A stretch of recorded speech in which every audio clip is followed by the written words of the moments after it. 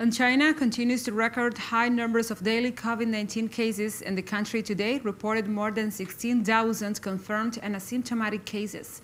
This is one of the highest numbers in two years due to the new outbreak of the Omicron variant, with the epicenter being Shanghai, the country's financial center, and home to 26 million people.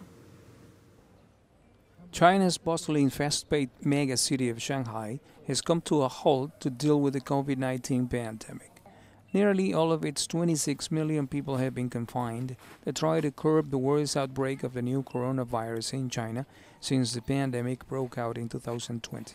Shanghai, China's second most populous city and its main financial center, stepped up epidemiological control measures after registering more than 13,000 cases of infection in a single day, most being asymptomatic.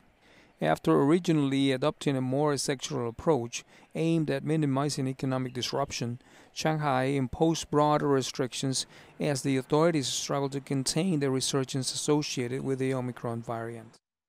Yesterday, the number of newly reported local cases that tested positive for COVID 19 exceeded 10,000 for the first time in Shanghai, reaching 13,354. Since March, Shanghai has reported more than 73,000 cases that tested positive in the current wave of infections.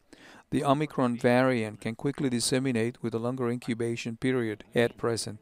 The epidemic situation in Shanghai is highly volatile and extra volatile while a sectoral quarantine was initially reported, the containment measures now cover more than 25 million people after restrictions were extended until further notice and new rounds of mass nucleic acid testing were initiated to find all those infected, especially those without symptoms.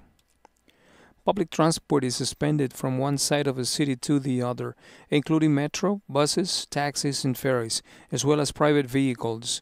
Rapid antigen tests are also being distributed to households. Nearly 40,000 health professionals and military doctors from different parts of China are arriving in Shanghai to help the metropolis deal with the outbreak in what Chinese authorities have described as the largest nationwide medical operation since the closure of Wuhan in early 2020.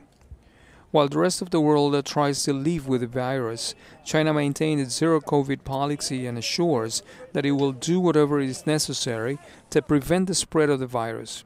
At the same time, it has softened its approach in some respects to avoid disruptions to the domestic economy and global trade.